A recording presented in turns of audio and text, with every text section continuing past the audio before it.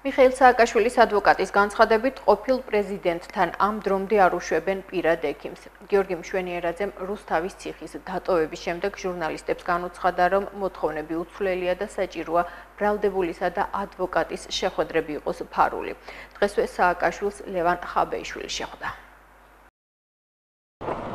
მის თავის ტვინში არსებობს ნევროლოგიური დაზიანებები, რომლის გამოკვლევის გარეშე შესაძლებელია ხვალ ზეგ დადგეს ძალიან რეალური რისკი, რამაც შესაძლებელია ძალიან ძიმე გამოსავალიც მოიტანოს, როგორც ექიმები ამობენ ამ მდგომარეობიდან.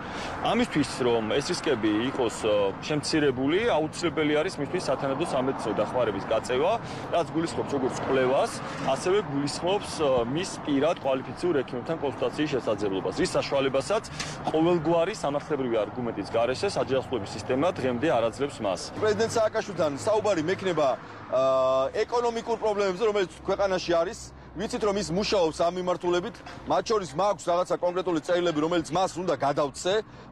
ის ასევე დაინტერესებულია კონკრეტული კვლევებით.